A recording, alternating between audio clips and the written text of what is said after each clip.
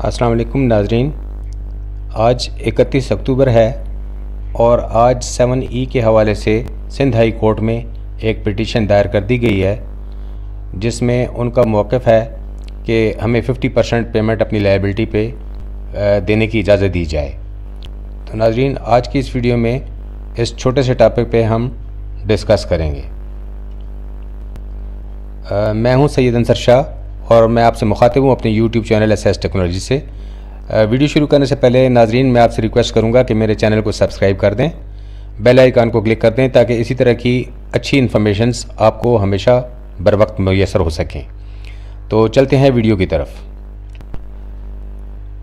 सामीन कराम supreme court ने 22 मार्च 2023 को एक डिसीज़न दिया था, जिसमें उन्होंने ये कहा था कि जो सेवन ई e के हवाले से टैक्स गवर्नमेंट ने लागू किया है, उस पर आप 50 परसेंट तक का टैक्स तमाम इंडिविजुअल्स जो ना गवर्नमेंट को पे करें, जब तक कोई इसके बारे में हतमी डिसीज़न नहीं आ जाती।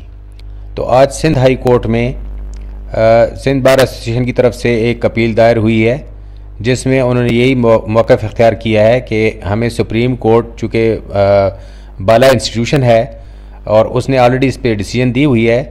लिहाजा उसी डिसीज़न को मद्देनज़र रखते हुए सिंधाई कोर्ट में उन्होंने एक केस फ़ाइल किया है जिस पर उन्होंने कहा है कि सिंधाई कोर्ट इस पर एक डिसीज़न दे कि 50 परसेंट तक हम अपनी लाइबिलिटीज़ के ऊपर टैक्स जमा करा सकें।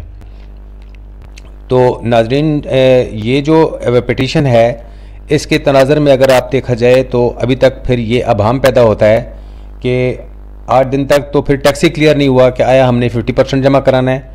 हंड्रेड परसेंट कराना है या कैसे कराना है? इसी तरह की एक डिसीज़न जो ना, वो लाहौर हाई कोर्ट में भी ऑलरेडी जो ना दी गई थी। उन्होंने इस टैक्स को जो ना विद हेल्ड किया है। उन्होंने कहा है कि जी, इसमें कुछ अभाम है और उन चीज़ों को क्लियर किया जाए।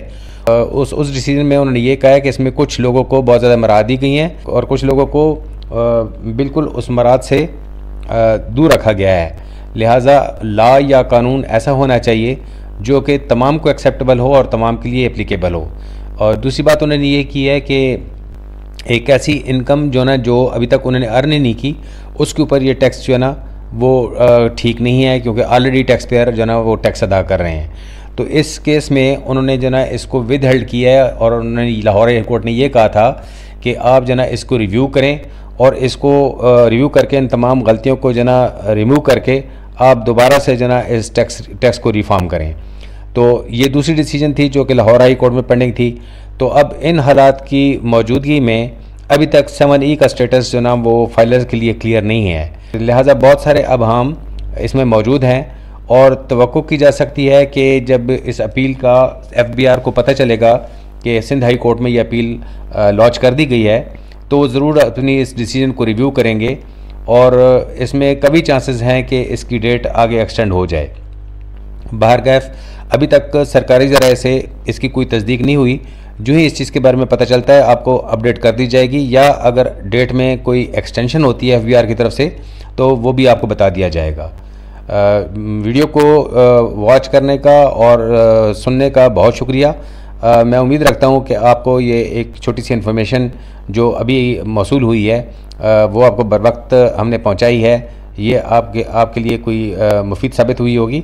और मैं इस चीज़ की भी तो रखता हूँ कि आप मेरे इस चैनल को सब्सक्राइब करेंगे ताकि हर नई वीडियो आपको सबसे पहले मैसर हो। बहुत शुक्रिया। Thanks for watching. अलैक्म